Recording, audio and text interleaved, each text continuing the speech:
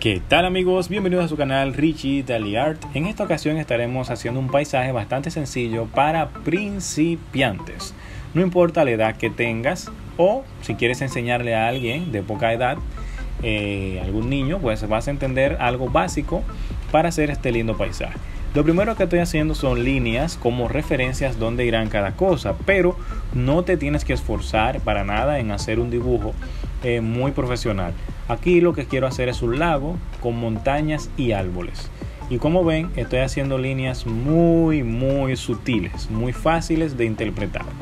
Porque no me voy a enfocar en hacer un cuadro realista, ni mucho menos un cuadro detallado.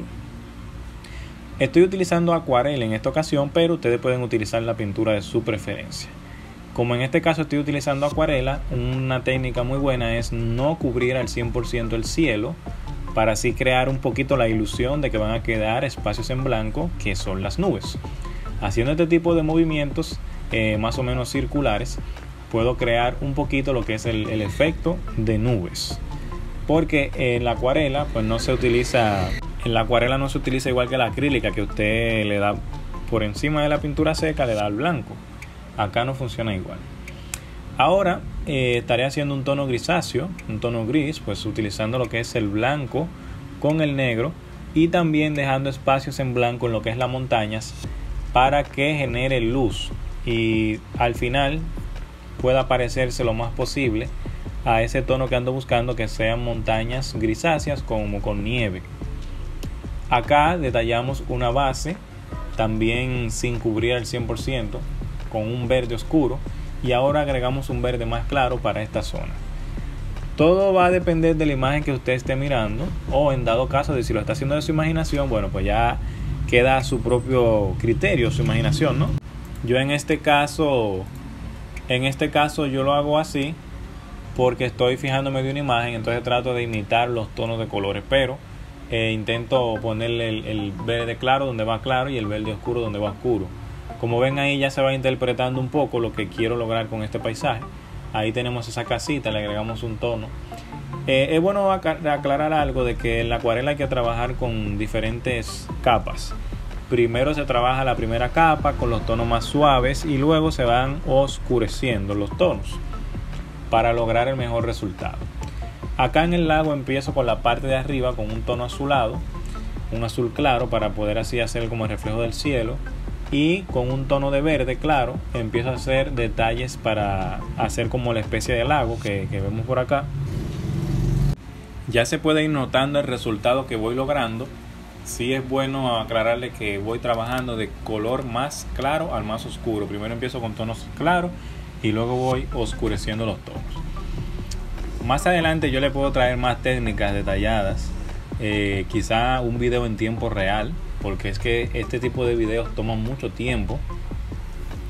Un paisaje eh, no es algo como que usted lo hace en 5 minutos. Usted tiene que tomarse su tiempo y hacerlo despacio. Este lo hice bastante sencillo y omití muchísimo detalle para que la persona que lo quieran ir realizando, como así como lo voy haciendo yo, pues se le haga un poquito más fácil.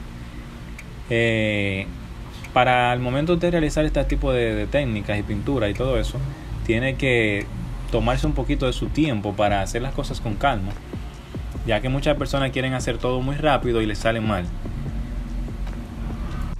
Yo les recomiendo empezar con paisajes muy fáciles que tengan muy pocos colores eh, o elementos Inicia con playas que incorporan muy pocos elementos, ya sea solamente el mar, el cielo, o alguna otra palmera, pero eh, no te enfoques de una vez en hacer cosas muy muy detalladas porque es posible que te enredes.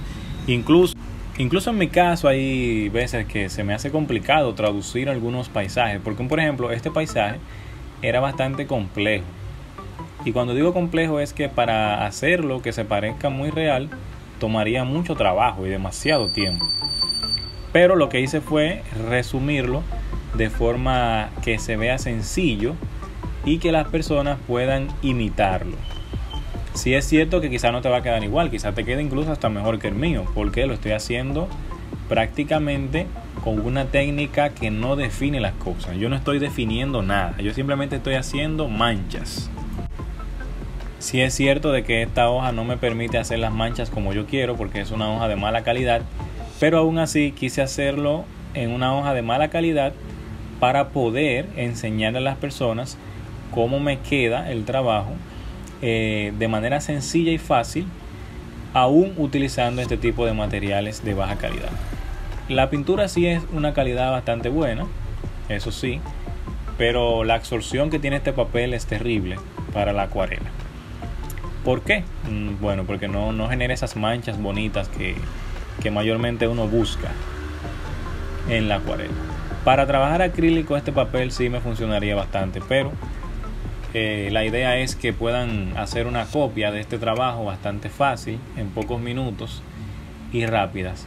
Eh, sé que muchas personas van a decir, oye Richie, pero el tema de los colores y eso, cómo mezclo y, y así, bueno, esto es un tema un poquito más complejo y en este canal le voy a dejar aquí en la descripción unos cuantos videos donde yo explico eh, cómo mezclar algunos tonos y buscar eh, colores específicos. Así entenderán con mayor claridad las mezclas de colores, lo básico para que puedan aprender. Y de todos modos, bueno, pues acá en todo el video han visto las mezclas que voy realizando y ven de dónde cojo el color y cómo lo voy mezclando. Claro, para que se disuelva así yo siempre humedezco el pincel. Como vuelvo y repito, esto es algo bastante básico, sencillo, no tiene mucha definición. Al final le voy a mostrar eh, la obra seca para que vean que se ve aún mejor. Porque con la pintura húmeda, pues los pigmentos no se ven igual. Aquí ya detallando lo que son los pinos, puedo darle un poquito más de definición con un tono más oscuro Recuerden que le dije que se empiezan con los tonos claros y luego vamos oscureciendo. Más adelante, si la gente muestra más apoyo, pues estaremos subiendo más videos de mayor categoría. Hasta la próxima y vean acá el final, cómo queda el trabajo seco. Hasta la próxima.